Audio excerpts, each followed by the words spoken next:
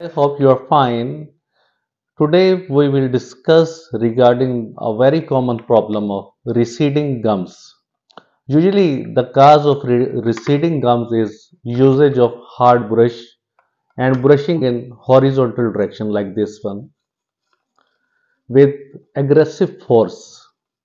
This ultimately lead to gum recession.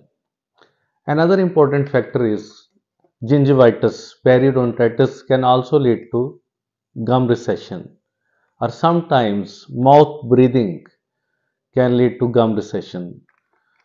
But in some cases, in spite of good oral hygiene, brushing before going to the bed and before the breakfast, and usage of dental floss once a day, there is gum recession, bleeding from the gums, swollen gums. What is the reason of this? Usually, the reason of this is vitamin C deficiency, also known as scurvy.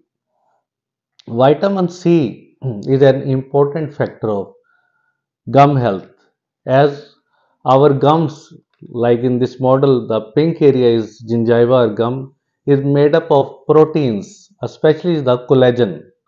And vitamin C has an important role in the synthesis and strengthening of the collagen.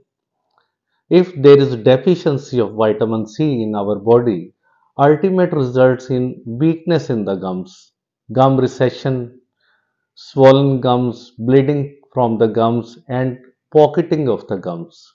That is, more food will impact inside the gum area that ultimately lead to periodontitis and tooth mobility.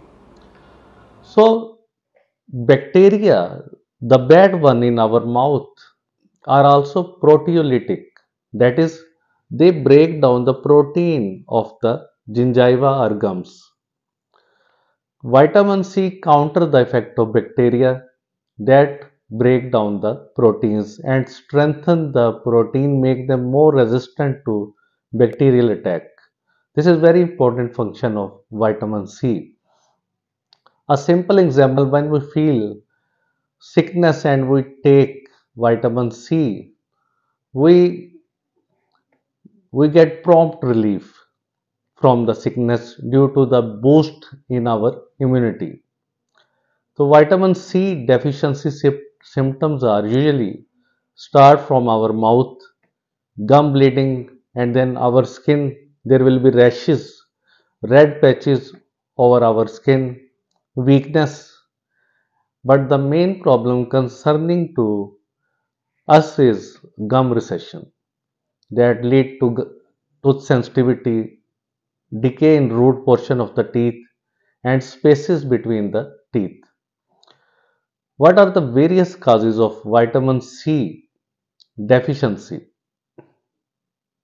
The main cause is increased insulin production in our body, but that insulin is resistant.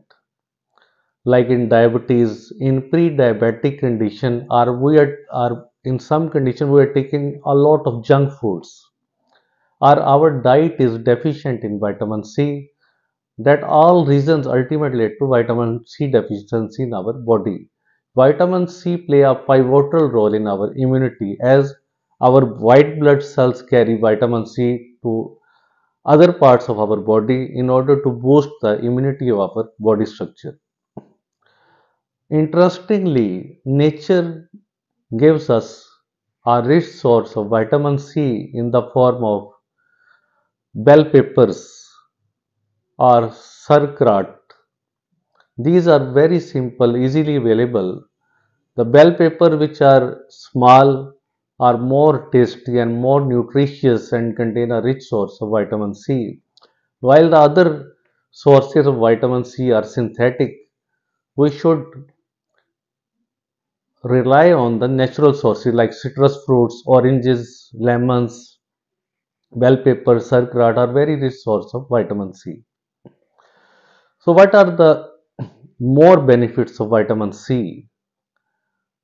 Other benefits of vitamin C are in some cases when you are suffering from hyperthyroidism, the toxic effects of hyperthyroidism on our body are minimized by vitamin C.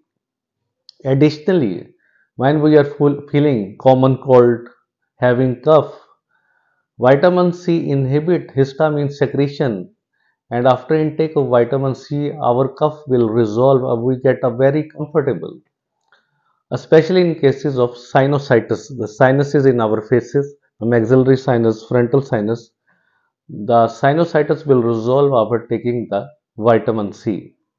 Another important factor is oxygen distribution in our body. When we are climbing a stairs we feel difficulty in breathing sometimes but when we take vitamin c in enough amount 500 milligram to 1 gram per day then we can easily climb on the stairs without any breathing problem so vitamin c has multiple benefits especially on the gum health and prevent gum from recession Hopefully this video will be informative to you. If any question, you can ask in the comment box. Thank you.